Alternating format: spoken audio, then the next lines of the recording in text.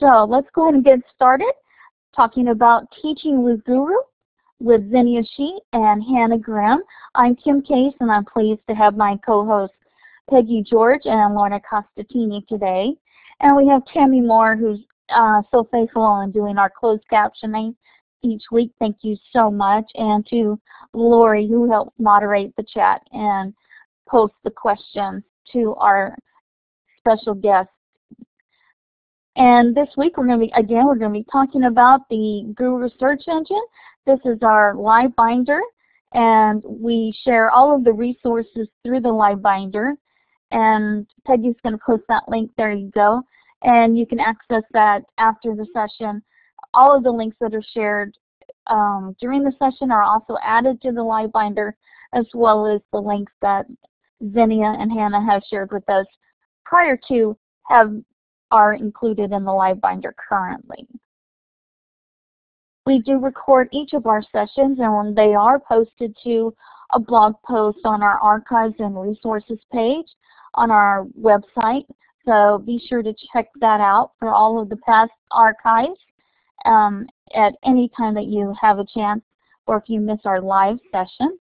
And right now we're going to be uh, using the world map and the laser pointer tool. And the laser pointer tool is the second one in the list. If you'll click on it and then click again to get the little starburst and then put where you're located in the world on the world map. We always love to see where everybody's joining us from today. And I think I saw some from Argentina, down in South America, over in um, Europe, and lots of places near Asia and China. Regardless of where you are, you can type it in the chat if you're unable to uh, get the Starburst to work. But we are so glad that you've joined us on this Saturday.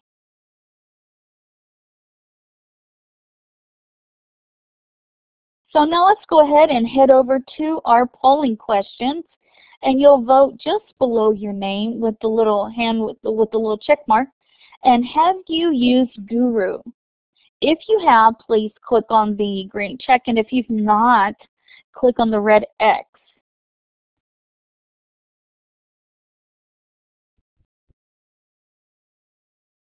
And I'll give everybody just a few more seconds to find the way to vote. You kind of hover over it and then select your option. Yes, if you've used Gooru is the green check. No is the red X. And let me go ahead and post those results and we'll get an idea.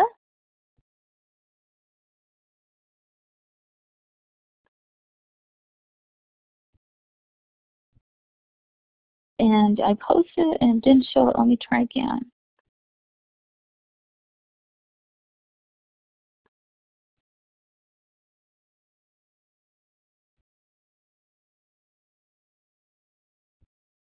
Okay, I'm not seeing the results come up.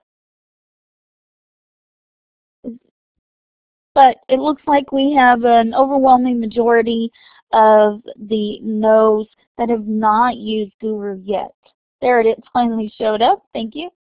Um, and it looks like only about 16% in the group have used Gooru before. Let me clear the results. We'll go on to the next polling question and we're going to change our polling options because we have a few more options to choose from. And for today's presentation, are you more interested in getting a basic introduction to Gooru or more interested in learning specific about ways to use Gooru for your teaching needs in your classroom or C, both, learning how to use it and how you would use it to teach? So if you could click on the A, B, or C and register your vote, that would be great. I'll give everybody a little bit more time. And hopefully this time the results will publish.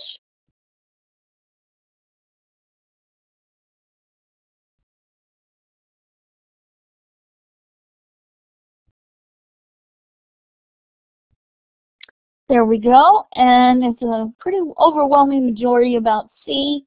Uh, ways that we can use it in our teaching, use Gooru in our teaching, as well as how to use Gooru. So that's going to be information for our presenters. So let me clear the results and we will go to our next polling question and let me change the options right back. And do you have a Gooru account? Green check for yes, red X for no, just below your name.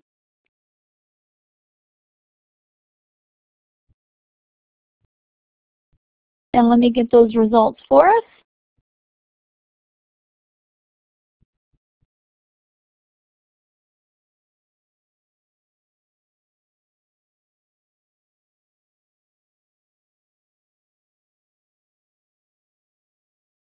Not sure why it's taking a while for them to show up, but that's okay. We're going to keep right on going. And it looks like 21 of us there it is. Thank you. About 11% do not, or 61% do not have the Gooru account, and about 11% do. And I'm sure it's going to change once our session is complete. And I would love to welcome our two special guests today, Xenia Shih and Hannah Grimm. They're going to be talking with us about teaching with Gooru. And uh, this is going to be a very um, exciting session on using this search engine. And Xenia coordinates community and partner outreaches for Gooru, which is the free search engine. And it was developed by a nonprofit organization whose mission is to honor the human right to education. And she's a marketing and social media specialist who is very passionate about working with nonprofit organizations and particularly education nonprofits. She does have a teaching background and has tutored, mentored, and coached many youths as she was inspired to work in education with the numerous teachers she encountered. Hannah Grimm is also with her, and she is a science teacher, and she teaches at Prospect Sierra Middle School in El Cerrito, California. And so we are so grateful to have these two special guests today talking with us about teaching with Gooru. So I'm going to go ahead and pass this over to them, the newbie questions. What is a search engine for learning? So welcome, Xenia and Hannah.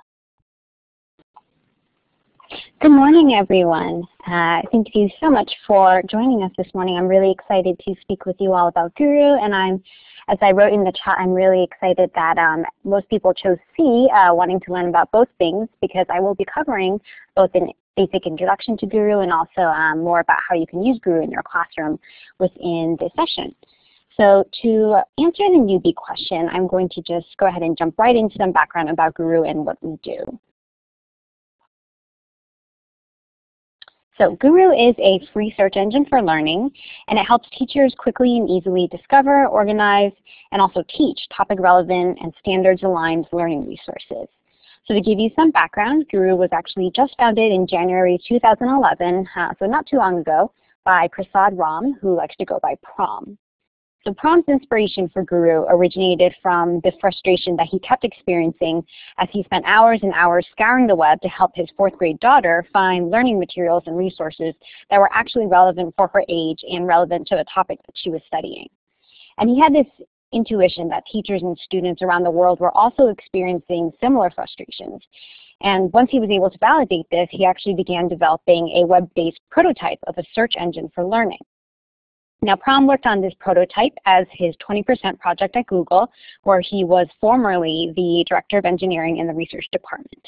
So he has great deal of knowledge about search engines. Um, and eventually his project actually evolved into a year-long pilot program. And this involved 1,000 students across 25 classrooms in North India. And because it was so successful, he actually left Google and founded Gooru as a nonprofit education technology organization in January 2011. So we are a 501c3 nonprofit, and we're based in usually sunny Palo Alto, California, although it's a little overcast this morning. Um, and as uh, Kim mentioned before, our mission is to honor the human right to education. Our website is www.goorulearning.org, so if you haven't visited us before, please make sure you do so after this session and check it out. Um, and one thing I do want to quickly clarify, because I know it's usually a bit confusing for um, new users, is that our name is Gooru, not Gooru Learning. And um, the only reason that goorulearning.org is our URL is because that when we were founded, someone had actually already taken the URL gooru.org. So just to clarify that little uh, confusing bit.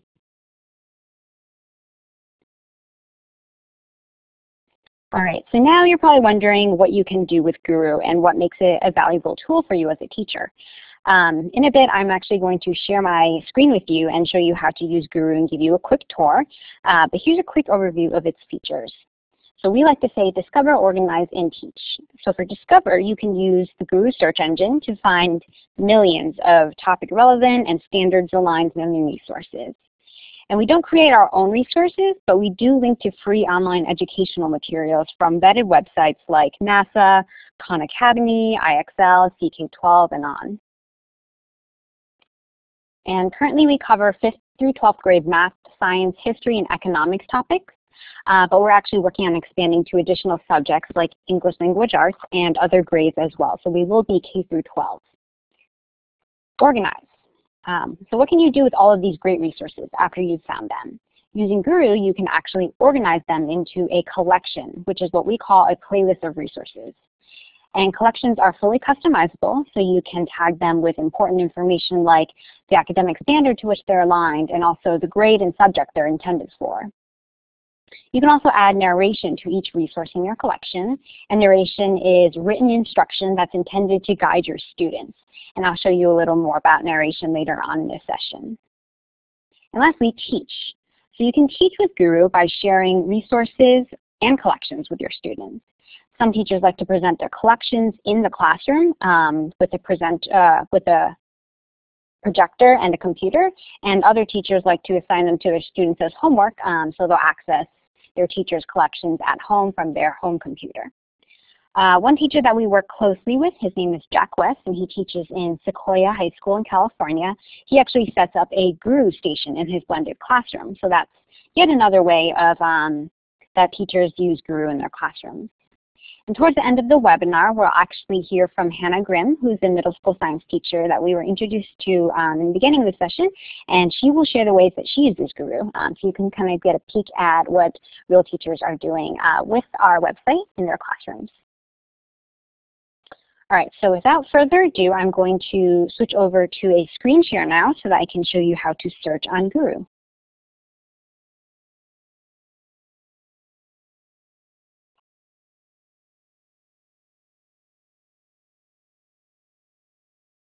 All right, so hopefully you can all see um, my screen now.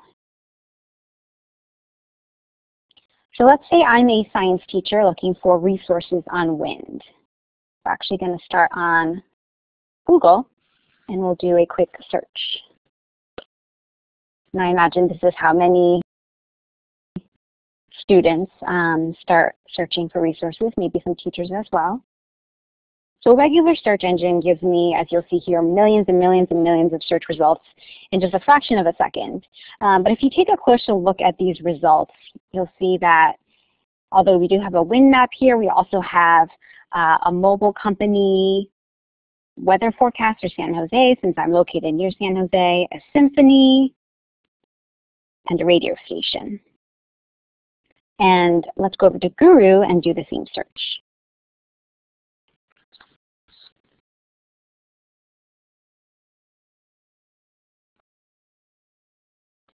So wind turbines, uh, wind power, seed dispersal by winds, and these are much more in line with the search results that I intended to find. so Gooru has nine types of resources. If you scroll down, you can see them all. If you hover your mouse over one of the search results, you can see important information like a description of the resource, um, the academic standards to which it's aligned, so this would be the California Science Curriculum Standards. And you can also see which collections it's used in. And as I mentioned before, a collection is a playlist of resources. Um, I can also click on this link here, go to original source, and that would take me to the original website that this resource came from, uh, which in this case is Wikimedia.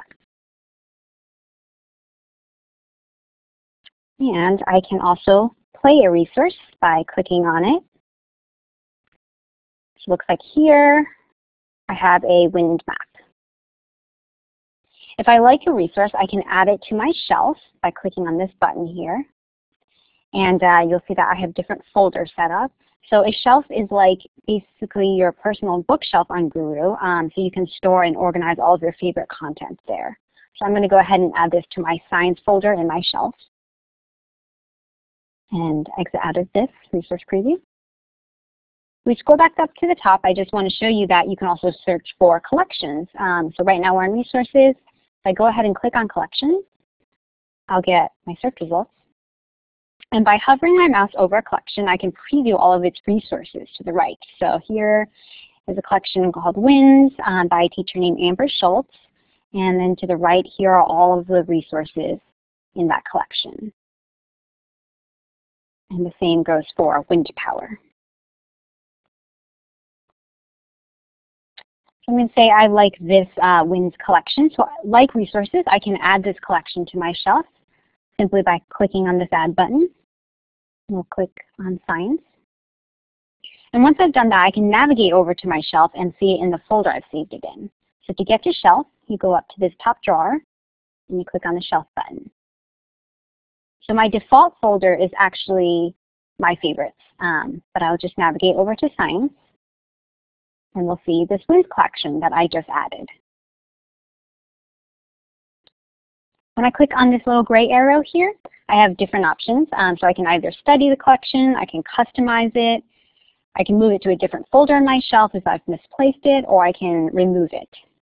So I want to focus on customizing today, um, and this brings us actually into the section of the webinar where I show you how you can utilize Gooru um, as a teaching tool for your classroom. And this is a feature that teachers have told us they really love about Gooru, uh, the customization aspect. So I go ahead and click on Customize. I can rename it.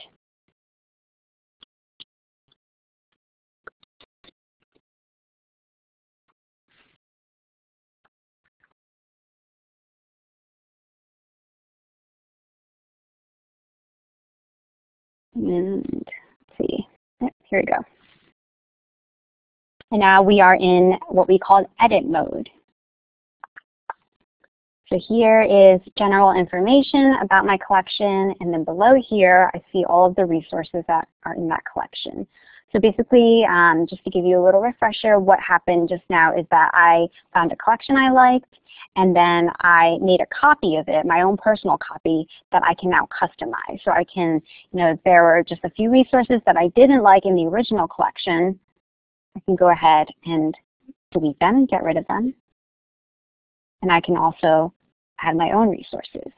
Um, but we're going to start with editing the general information that we see up here. So I will click on this pencil icon here, which is um, an edit button. And this allows me to edit basic information about the collection. So for example, the learning objectives, um, the grades that it's intended for, and also the course that it should be classified under. So here it's actually under earth science. If I wanted to add another classification, I could do that by clicking here. And I can also add collaborators to my collection. And by default, a collection can only be customized by the person that creates it or makes a copy of it. But if I add another user as a collaborator, um, that person shares editing privileges. So I just type in the Gooru username of the person that I want to add. This just happens to be my coworker. Oops, added her twice. And now she's a collaborator if I go ahead and save that. And then the next time that she logs into Gooru, she will actually um, see this collection, my collection, in her shelf, and she will be able to customize it as well, which allows for uh, some really nice collaboration between teachers or between teachers and students, etc. I can rearrange resources very easily by dragging and dropping them. So if I want to move this to this section, and then this resource here, I can easily do that. And I can also add additional resources to our collection by clicking on Add a Resource. And then I can either upload them from my own computer, so upload file, I can browse my computer, or by pulling it from an educational website. So I have the option to upload it from a URL. And earlier, I actually mentioned narration, uh, which is written instruction that's intended to guide your students through a resource. And I can add narration to a resource by clicking on its thumbnail while I'm in edit mode and typing into the narrative field. So I'll go ahead and click on this one, and you'll see this narrative field here.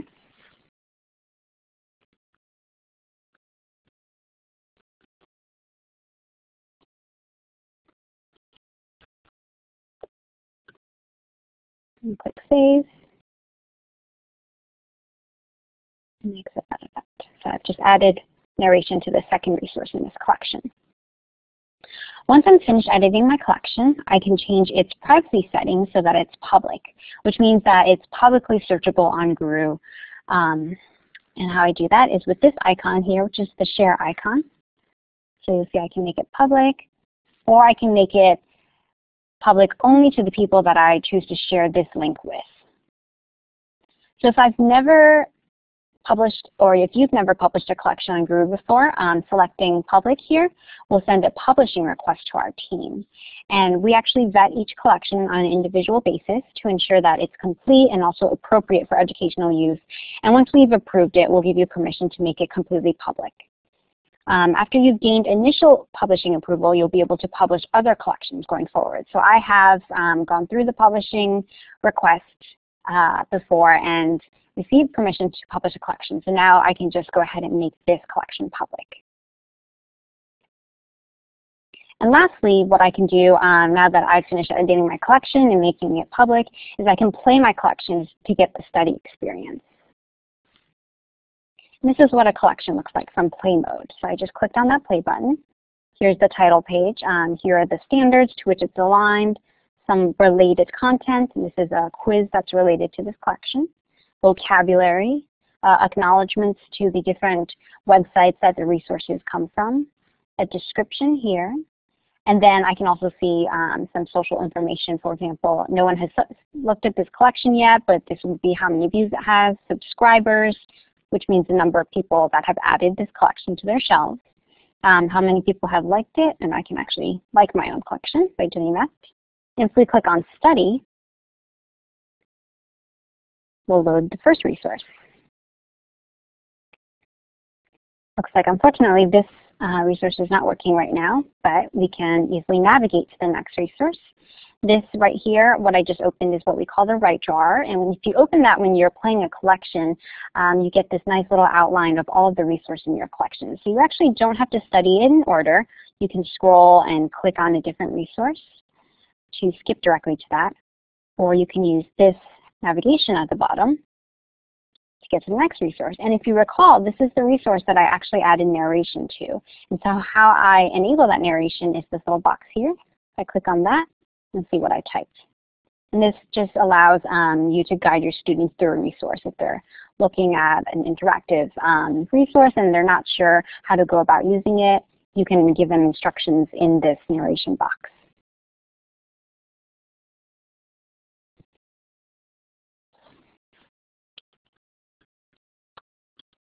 All right, so that was a very quick basic introduction to um, Gooru, the search engine for learning. And I also just want to quickly mention that we also have two iPad apps. Um, so I think a couple of you may have mentioned that you have used or downloaded the app. Um, so we have the Gooru Collections iPad app. And this is a purely study experience. Um, your students can or you can download uh, Gooru Collections on your iPad and then study collections right from your iPad. So it's a very um, study on the go experience. And uh, one thing I should let you know is that you can't customize collections through this iPad app. Um, it's purely study as I mentioned before. Um, but if you go to our website, you can check it out and you can download it for free uh, from the App Store. And then we do also have a slightly newer iPad app called ClassBooks. Right now it's limited to just U.S. history, but it's a digital textbook experience. Um, and uh, we are looking for history buffs and history teachers and students who love history to help us develop out this app a little more. Um, so please also download this app on your iPad. Um, again, it is free, and uh, play around with it a little bit and let us know what you think. Um, well, your feedback is actually going to help us improve this uh, app, so we would love to hear your feedback on this.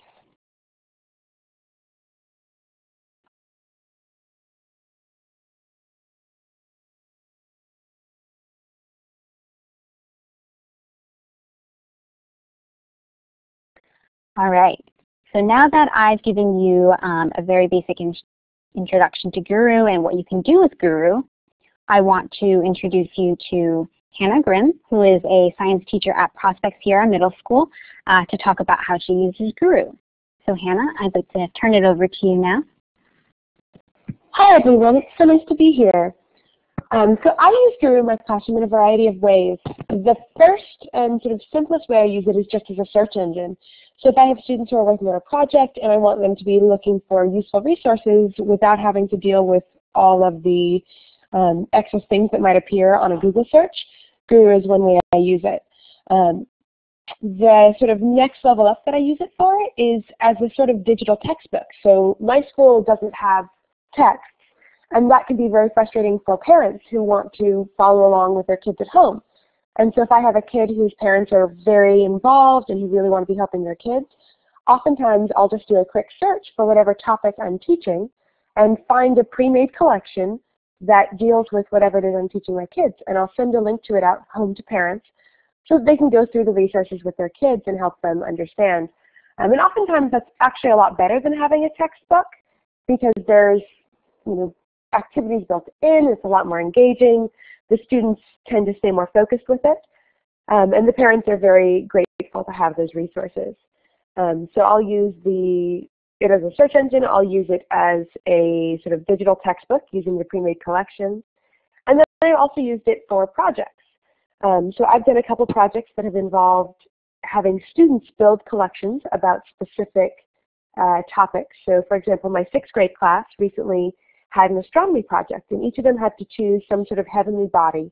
A lot of them chose, you know, planets or moons or a particular galaxy, and they were seeking to create a collection designed to teach their classmates about that topic. And so they had to find good resources that were engaging. They wrote narration to explain each resource, and they built collections that they then shared with their peers, and everyone spent a class period looking through their peers' collections and learning about what their friends were interested in.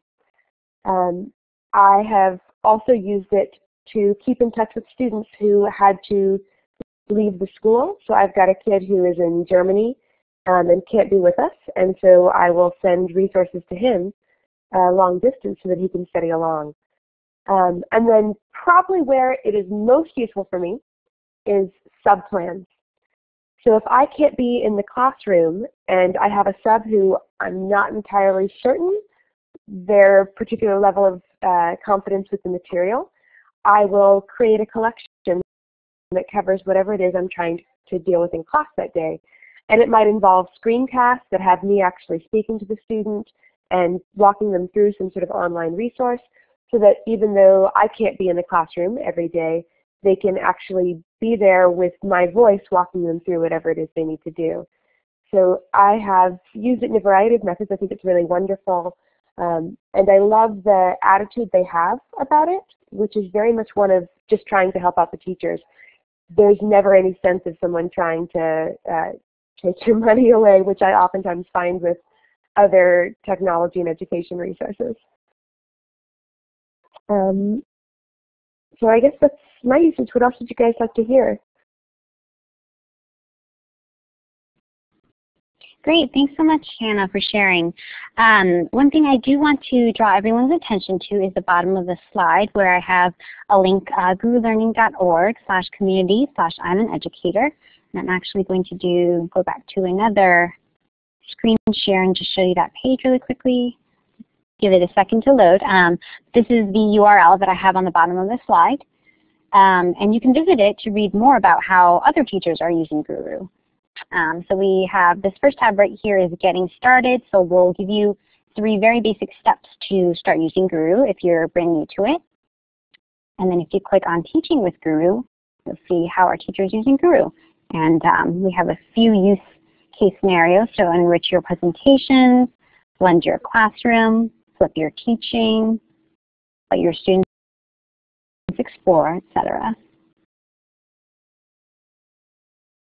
And then a few best practices. Um, our featured teacher currently is Paul Allison, who is an English teacher at Bronx Academy Senior High.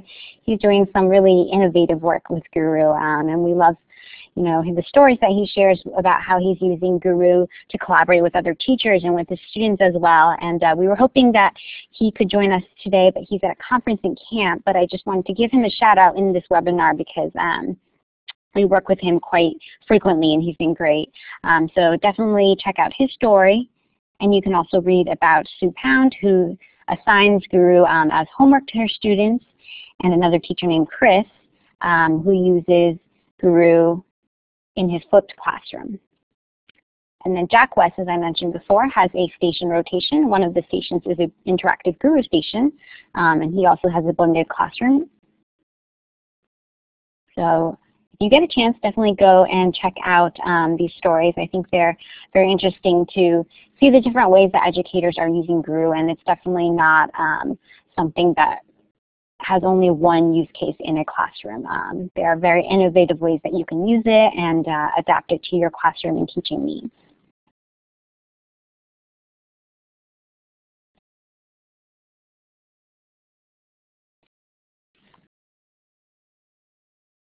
All right, so before I open up the floor to any questions that you might have, I just wanted to point you to some resources that you might find helpful.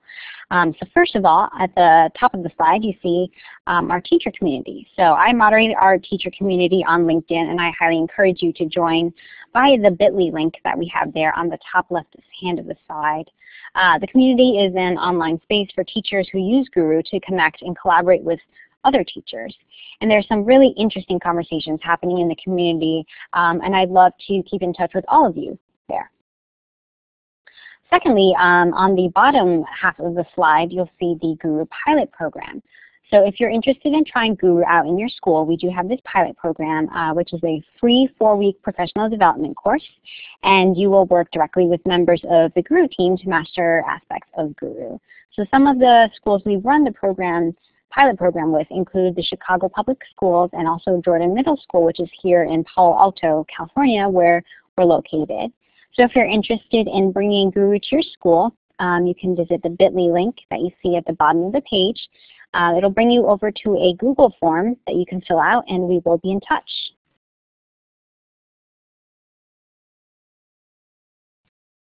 All right, so now I will take any questions you have about Gooru, and um, if I don't get to your question during this session, uh, you have my email right below at the slide, and uh, feel free to email me at any time at xenia at goorulearning.org.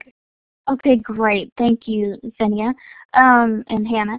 Somebody asked earlier, whose standards do you use for um, creating or vetting the content?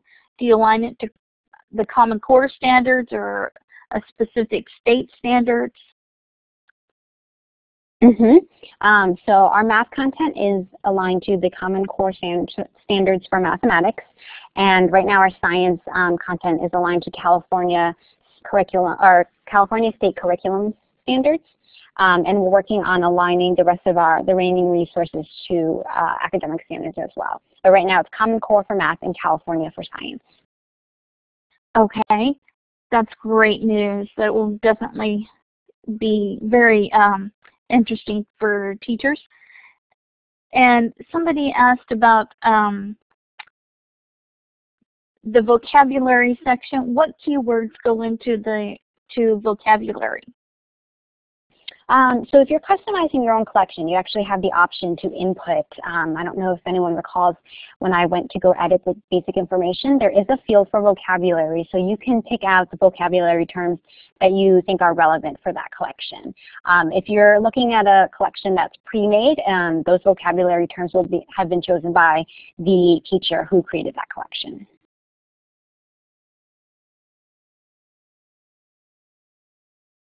Okay, and the next question was, is this intended for students to create collections or more for a teacher tool uh, for students to find the and access the resources intended for the intended um, by the teacher for students to use? Um, I would say the answer is both. Or both. Um, mm -hmm, definitely both. Um, so we do work more closely with teachers and students, um, but we definitely encourage students to create collections as well. We've just found that teachers have been quicker to adopt the customization model um, because they like to personalize collections uh, for their students' needs. Um, however, we do have, for example, one teacher that uh, we work with, her name is Elisa, and she is actually a professor at a business school in Singapore. And uh, last year for her for her speech class's final project, she had her students all 30-something of them um, make a Gooru collection as their final project. So they did a fair amount of customization and creation on Gooru um, and then presented their collections on the topic of their choice in front of their class. So that is a really great example of ways that students also customize collections. Um, and then I had mentioned earlier our featured teacher, Paul Allison in the Bronx. He collaborates with his students on collections. Um, so there is a great deal of teacher and student um, collaboration right there.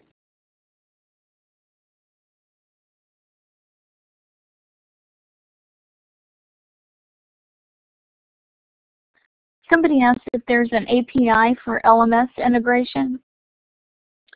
There is, we do have um, APIs. I unfortunately am not the right person to speak to about that. I'm not, uh, I don't know much about the development side of it. Um, however, you can shoot me an email and I can connect you um, with our development team and they can definitely uh, get you started using our REST APIs.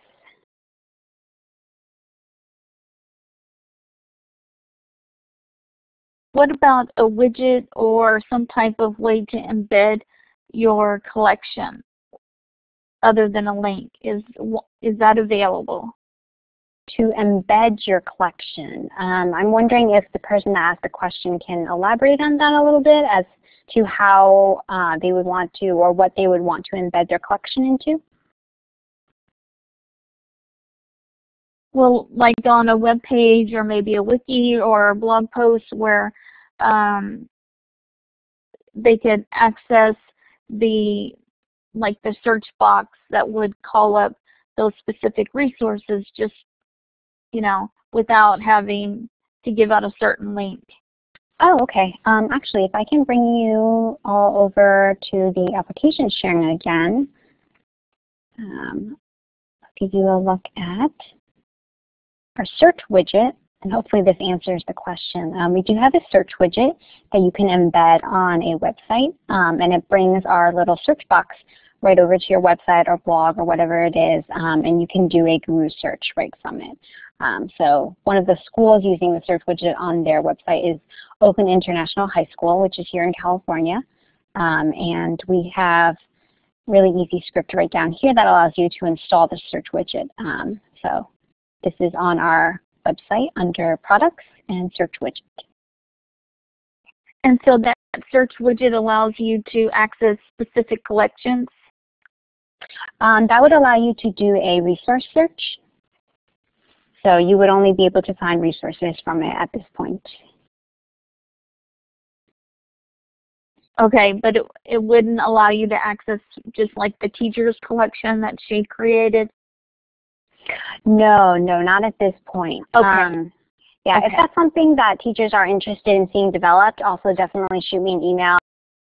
Uh, um, you know, we love hearing this feedback, and we're a pretty small team, so any feedback I get, I'll bring straight to the team, and we can talk about developing these types of things. So.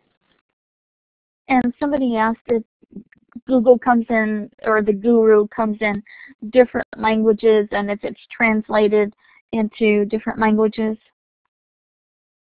Right now, um, we're strictly in English, but we definitely want to be translated into other languages as well. Uh, we actually do have a fair number of collections in Arabic um, because we work with a an organization called Partners for Sustainable Development, um, and they've been creating various collections. Um, but any collections or resources that are in different languages are actually um, user generated, so by teachers in other countries. So we haven't created our own collections um, with the teachers that we work with in other languages yet, but that's definitely something that we want to move towards as we grow. Okay, and regarding accessibility, how does Gooru compare with Google? Um, you know, from a school standpoint, I know that it's often very tricky to do um, or to show resources in schools because of firewall issues um, and et cetera. We haven't had much uh, trouble with Gooru in schools because all of the resources that we pull for um, our search are vetted and standards aligned. Um, occasionally, uh, YouTube videos that, for example, like a Khan Academy video that's uh, sourced from YouTube won't play in schools simply because of a firewall um, issue that's blocking YouTube. But there are, we have many different resource types and we source from um, a variety of educational websites. And so there are always workarounds um, and you can find a similar resource from a different site that is accessible on Gooru from school. And are there many primary teachers that are using Gooru for specific collections? Um, as I said before, right now we are covering 5th through 12th grade content, um, but we are working on expanding our grade levels um, down to the kindergarten level and also up in through um, higher education. So we have a range of teachers who teach different subjects and grades using Gooru right now. And because of the customization um, feature and um, something that I didn't show is that you can actually create a brand new collection from scratch. Um, there are teachers that you know teach English language arts that are using Gooru uh, to create collections. For example, Paul Allison is actually one of them. He's an English teacher. Um, and even though we don't have English content in Gooru yet, uh, they're able to do that. Okay, I would think you'd be able to create a collection and you know, modify it and make it accessible for whichever grade level you're working with. Mm -hmm. uh, mm-hmm. some of the content may be advanced, but you could talk about some of the images and things that you find even with the younger students. Exactly, and so you can remove some uh, resources that you think might be too advanced for some of your students and then upload your own. Um, so those are all ways to kind of work around uh, the personalization. Super. And for students, if you wanted them to be able to build a collection, mm -hmm. uh, would they just need an email account? Yes, so, um, and actually I think I saw this in the chat and I forgot to address it before, but you do not need a Gooru account to do a search or um, to study a resource or a collection. But you do need an account to be able to customize and also save your favorite content. So that's where that comes in. So um, if you are a teacher and you customize a collection and you make the collection public and want to share the link with your students, your students can click on the link and study the collection without having um, a username on Gooru. But if they wanted to be able to um, customize the collection for their own needs or add their own resources or something, then they would need to sign up for an account. Um, and so if they're over 13, they can do so with just their own email address, um, and we do verify their birthdays. But if they're under 13, they can use a parent or guardian's email address um, to sign up for an account. Okay, and then using the what we call the Gmail trick with the username and then a plus and then some other word, that type of email account would work as well? Um, I'm not familiar with the Gmail trick. Can you explain that again? The way that we do that is um, like my email account is kk's at gmail, but if I wanted for teachers, you can have up to 25 or 30 um, extra email accounts that filter through your main account. So you put like Gmail plus and then student A and then plus student B, and that would be um, like their full Gmail account. Mm-hmm. And so would that be an issue? Um, I, from what I'm hearing, it should that should work uh, for creating a username. Uh, basically, after you go to Gooru and you go through the first steps of the registration process, we'll send you an email, um, and you need to log into your inbox and uh, click on the, a link in the confirmation email in order to be able to finish setting up your account. So as long as the student or maybe the teacher could click on that link in the email okay. for the student, that would work. Okay, that makes sense. And some of the schools have Google Apps accounts with students that are under the age of 13. So in that case, it wouldn't be an issue with the age. Um, I don't believe there would be. Okay, that's good. Good to know. And somebody asked about the Teacher Square on Air. Can you tell just a bit about that webcast? Teacher Square? Uh, Teacher Square on Air. That's what um, formative assessment in the cloud video, Teacher Square on Air with education. I actually don't think I might be a YouTube video that somebody has just created their own uh, Teacher Square on Air webcast. Okay, I'm actually not uh, familiar with that video recording, um, but I'm okay. looking in the then chat. perhaps it wasn't created by um, y'all. It was Mhm. somebody else, another teacher, showing how they used the search Yeah, engine. and I'm looking at the chat, and I did see that Peggy included Jack West's name there, and um, he's a teacher that we work very closely with, so it's very possible that he um, did something with Teacher Okay. Square. Then, the, yeah, then he probably created it. Okay, um, those are the questions that I had. Lori, do you have additional ones? Yes, I do. I only have a couple. Uh, the first one is for the four-week course for teachers. Uh, do teachers get a, a certificate for that? Um, I don't believe for the pilot program they do, um, but we are in, also in the midst of developing a professional development program, and uh, for that Mhm. we will have certificates available. So we will um, share the information about our PV program as soon as that's ready um, on our website. But the pilot program is more focused on um, get, helping a school get Gooru integrated into um, the school district or into teachers' classrooms, teaching teachers how to use Gooru. Okay. Are you taking Canadian teachers in your pilot? I believe we are, and you know what? I believe we actually already are working with a couple of schools in Canada. So definitely, even if you're in Canada, uh, fill out the form. We'll, we will definitely get back to you. And the last one I have, what do you have planned for the future development of Gooru?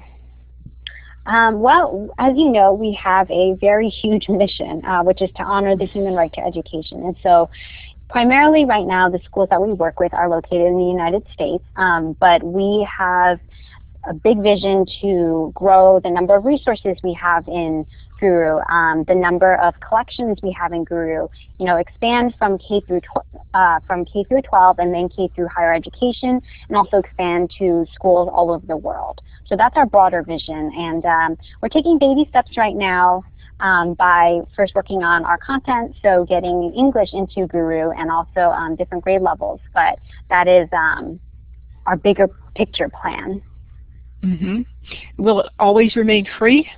always. Those are the, the ones that I've seen Yes, as far as questions go. definitely important that it remain free uh, for educators. Is wonderful, definitely, Glenn. Are there any questions that we might have missed, or if you'd like to uh, take the mic, we encourage you to do so. You can continue typing them in the chat or click on the hand and we'll give you the mic if we have overlooked or if you'd like to ask something that um, expands on a question that was previously asked, we invite you to do so. I definitely see so much potential with this and um, we're always very supportive of safe search engines and providing results that are vetted by educators and, and experts so that our students are not accidentally exposed to um, inappropriate things that maybe a filter didn't catch. And Hannah, would you like to comment or um, share some of your experiences?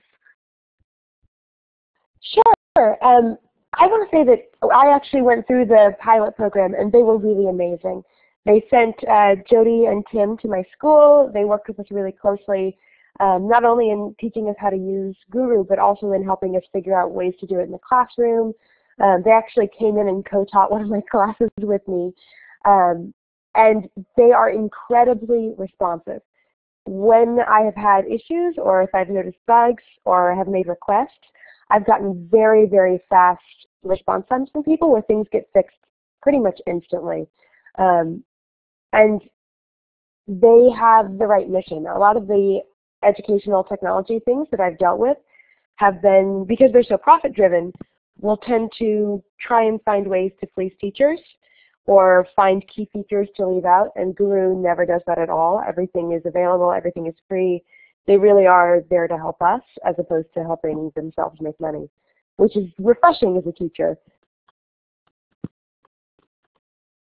Definitely, that support is always, you know, just having that, knowing that it's available is a great thing when you're trying a new tool. And about your business model, how are you able to make money even though you're a nonprofit, but how are you able to sustain uh, your efforts and work in this area? I was actually just typing the answer into the chat box, so I'll go ahead and just say it out loud. Um, so we are a 501c3 nonprofit organization, but we're funded by some really um, great uh, foundations, for example, the Gates Foundation, the Hewlett Foundation, um, also by Google, by Pearson, um, by the Ram Shriram Family Foundation, and you can actually view um, all of our funders on our website. So that is how um, that is how our business model works currently. And if a teacher needed support, um, how would they contact Gooru? Um, they could email us at support at goorulearning.org. Um, and one of uh, either me actually or um, one of my other team members will respond. Um, you can also shoot me an email personally and I will get back to you. So That's great. And I think it's also great that um, teachers can collaborate. And so students, if they created a collection, they could all be added as collaborators as well and collaborate on one collection. Mm -hmm, absolutely. Um, so one thing that last time I talked to Paul Allison, he mentioned was that he was working with a teacher uh, located elsewhere, and they were just, they had added each other as collaborators on this one collection, and so they were just, whenever they had time, were going into the collection on Gooru and iterating off each other's work and providing feedback to each other, and so it almost becomes like a like a Google Doc, you know, where there are multiple people editing and revising each other's work, um, and you can definitely do that with the Gooru collection. And regarding uh, the video content, the video content, are those screened and vetted as well by? Um, oh, definitely. Mhm. Okay. Uh, sorry to cut you no, off. No, no, no. Please do. All of that's, our that's resources great. are um, are vetted uh, by teachers or our content experts, and they are from educational websites. So um, there is no inappropriate content on Gooru.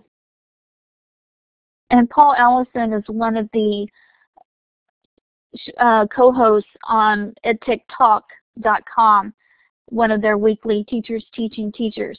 And Peggy has just posted the link to one of the, the sessions where Peggy learned about Gooru um, and this search engine. So we encourage you to listen to that podcast for more information and more ideas as well about using uh, Gooru in the classroom. Yeah, just yeah, to add. You made a great point. I'm sorry, go ahead.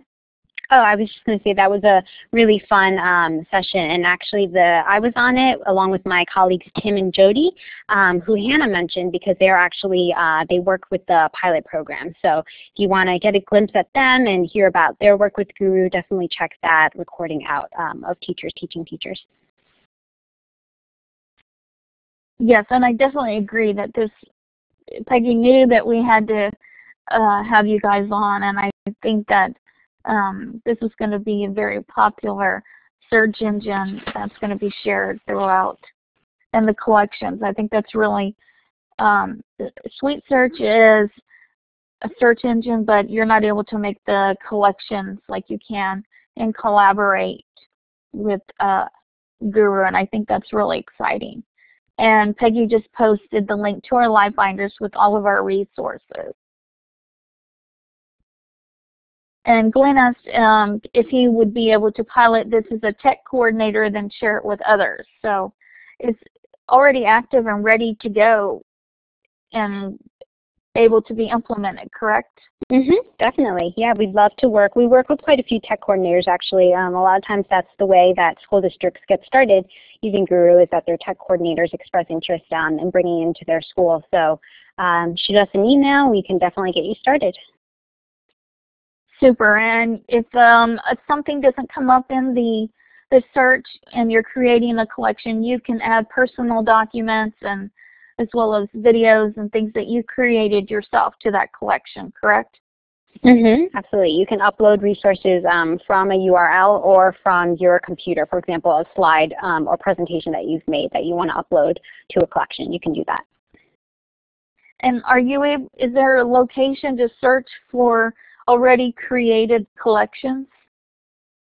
Yeah, so if you'll recall um, when I was showing uh, the search engine part, you can either search for resources or switch it over to collections.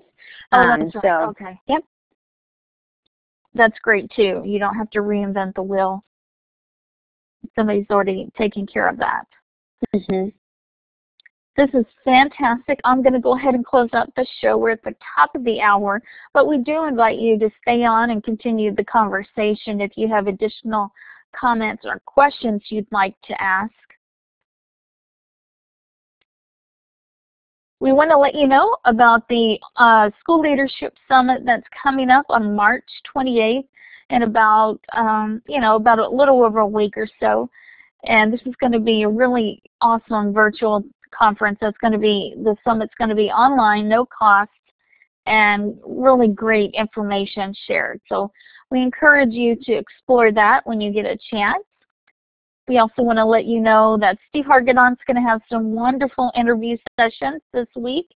Jay Cross on the 19th, um, March 21st, Adam Bessie, and then this, the School Leadership Summit is going to be all day on Thursday the 28th. That's um, from the Admin 2.0 org kind of uh, group like teacher.org and classroom, I'm sorry, teacher.2.0 and classroom 2.0. And then also on March 28th, Steve is going to be uh, talking with Michael Fullan, part of the School Leadership Summit. So all of those things you can find out more information on futureofeducation.com. We want to let you know that next week we're going to be talking about Weebly for student e-portfolios and blogging uh, Valerie's going to talk about that. We won't have a show on March 30th due to the Easter holiday weekend, but then we'll resume on April the 6th with Kyle Pace, and he's going to talk about ways to use technology in the music education classroom. And then Lisa Dabbs will be with us on the 13th talking about new teacher community and the new teacher Twitter chat that happens each week. And we won't have a show on the 20th, so that everybody can attend the DEN Spring Virtual Conference. So it's going to have some really great information and webinars going on.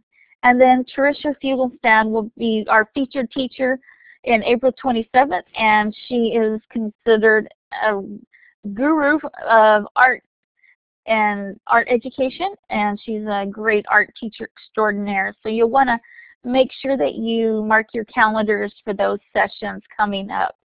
And if you'd like to nominate a featured teacher, any educator that works with teachers or students, we encourage you to do so at that link that's shown, as well as the link is always in the live binder that you can access at any time after our sessions conclude. Once you exit today's session, a survey link will open automatically in your browser. And we would love to get your feedback on today's session and the content as well as future topics for shows that you would like to see us include in our lineup. You can also request a professional development certificate for today, or if you watch any of our recorded videos in the archives, you can also use that same link, and that's in the live binder as well as posted right here, and it's posted in each of the webinars. And you can request a professional development certificate by including your name, your address, your email address, and then Peggy will send those out to you. We also have an iTunes U channel for the MP3 and MP4 of each of our sessions so that you can re-listen to them or if you missed the live show, you can access those recordings that way. As well as we also have a blog post that we post all this information to. And then you can access using any RSS feed aggregator and access the resources from either show, either way, after each show is posted. And we want to extend a very special thank you to Xenia and to Hannah for their great information and sharing their examples today, as well as to Steve Hargadon, who is our founder, and Weebly, who hosts our website, and to each of you for the conversation and questions, and to Blackboard so that we can meet each and every week in this forum. So now we're going to hand it back to Xenia and Hannah. And if you have questions, again, that we haven't missed or something you just thought of, we would encourage you to type those in the chat or you can click on the hand and we'll give you the mic and you can ask them directly um, before we let them go for the day. I think a lot of the things um, are going to maybe come up once we start getting into using and creating the collections. You know, I think this is really exciting. And the email address to contact you is support at support at goorulearning.org or you can email me directly at xenia at goorulearning.org. And I just want to okay. thank Hannah so much for um, being up so early today and uh, sharing her experience with Gooru with us. I really appreciate that, Hannah. Thank you. Great. And I think once we start building the collections and, and sharing that information. Yes, thank you, Hannah. We really appreciate coming from a teacher's uh, point of view you, of having actually used it and implemented it in the classroom. I think that's always a, a great point and giving us ways and also courage to try this out and uh, attempt this with our individual students in our classrooms. And please, we also have a Diigo group once you create a collection, we would love for you to share those through our Diigo group. Um, just post that link so that we can see kind of what you have created and what you have shared. And anytime you create something exciting that has to do with our show or you just want to share a tool, we encourage you to do so to, through our Diigo group. And, you know, um, share all kinds of things through that Diigo group. And are there any questions that we might have missed or that you just thought of and you'd like to ask before we exit out our session?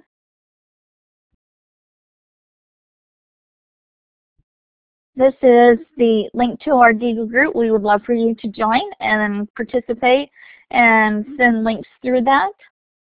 I think it's um, really great that we have access to that as well. And the live binders do a great job as well. So again, thank you so much, Xenia. Um, I yes, I definitely think that uh, our minds are trying to digest this, and we just can't wait to dive into things. So we'll go ahead and we'll finish up the session today, but we want to remind everybody to join us next week when we start learning about using Weebly for e-portfolios and blogging and using uh, student accounts with that. So thank you everybody for joining us today. Have a wonderful weekend. Uh, those who are just finishing spring break, have a great uh, beginning week on Monday, and those who are just starting it, Hope you have a very relaxing week and spring break. So take care, everybody. Have a great weekend. Hope to see you online, and thank you for attending today. Bye-bye.